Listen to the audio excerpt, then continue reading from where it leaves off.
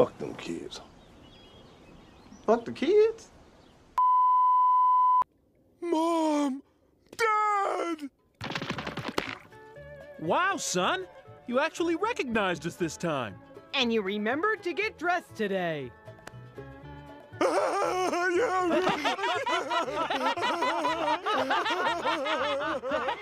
that's right, honey. We don't have a son. Oh, yeah.